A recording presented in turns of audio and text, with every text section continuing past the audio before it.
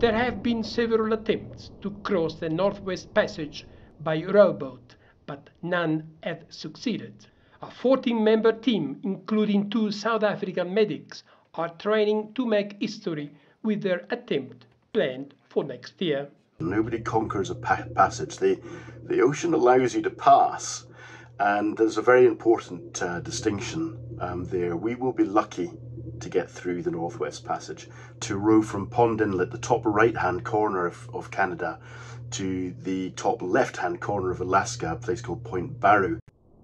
In decades past, travel through the icy Arctic waters was only possible by large ships. Reduced summer ice will allow the team to row the passage, but the journey will still be a physical and mental challenge.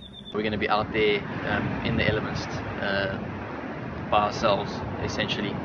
And uh, I think after a certain period of time of repetitive rowing on and off for, you know, weeks on end, I'm pretty sure my mind might be the biggest challenge I'll have to overcome. So my fear is is that encounter I'm going to have to have with myself. Along the journey, the team will use scientific tools to gather data for climate change and wildlife studies. We hope to be the, the, the first modern day expedition through the Northwest Passage um, and uh, to, to highlight you know, what's happening with the environment um, and, the, and, and the climate. This is the sort of expedition that wouldn't be, wouldn't be possible um, you know, 50 years ago.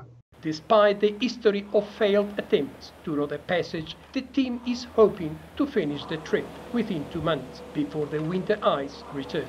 There has been a, a previous team, uh, I think it's 2013, that also tried to row the, the Northwest Passage. Um, they were unsuccessful as the ice caught, the, caught them. So hopefully the ice will stay back enough for us to finish uh, and be the first then to, to row the Northwest Passage. Meanwhile, the team will launch another expedition to help them prepare in June. They'll row from England's Newcastle to Orkney, a much smaller distance than the length of the Arctic Northwest Passage. Franco Puglisi for VOA News, Johannesburg.